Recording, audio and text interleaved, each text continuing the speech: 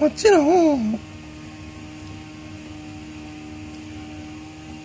その宗教に入ったらあさっき言ったことね。宗教に入ったら男性の場合教祖の精子を製造してしまうって意味なのね。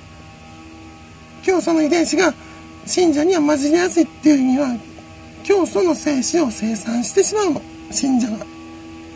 でただその教祖の精子がね本当に教祖から信者に侵入してもそれは免疫作用で消えるんだけどその教祖の思考回路が教祖の精子由来のものなら。じゃあ教祖の思考回路にひれ伏してしまうと、まあ、使えてしまうとそれを全部 OK にしてしまうとね教祖の思考回路。教祖の教義をね。そしたらその信者さんは男性の場合は教祖の精子を生産します。女性はそんなことないけどただ女性の場合は本当にその教祖の精子まあ精子って基本的に空中も飛べる若干ね海の中よりかはマシやけどただね海の中は他の生き物の精子にやられるよ人間の精子は。ね。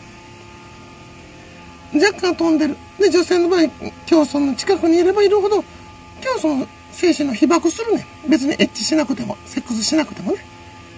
で教祖みたいな考え方本当染まるです自我をいただくわけやからそうなっちゃうわけ。ね。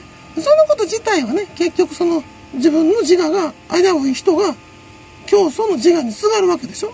教祖の自我はこういう人生を僕っちゅう自我は生きてきたって信者に伝授するんでしょ。だからそういう関係が起きちゃうわけで非常に科学的な説明だけどそれ自体倫理的に間違ってるわけじゃない。科学的にあなた方信者が教祖より不利言うだけでね。でしょ？教祖の生死よりも信者の生死は不利なんです。今言った理由で。ただそれだけのことやからね。いかに来るって今から教祖殺しに行ったらあかんよ。皆さんの自我がまさにダメだったって証拠になるやんか。ね。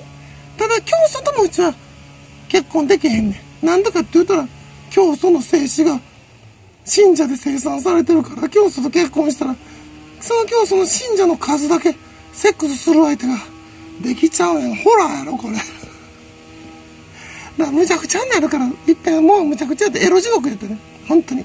教祖なるもん、まあ、なんかの宗教の教祖と結婚した時はもうエロ地獄でした。もう夢の中もむちゃくちゃやし。そうやだから教祖と一緒の部屋で寝てても夢の中は信者とセックスしてんねん。なんだかって信者が教祖の精子を生産してるからやねん。これ気持ち悪いやろ。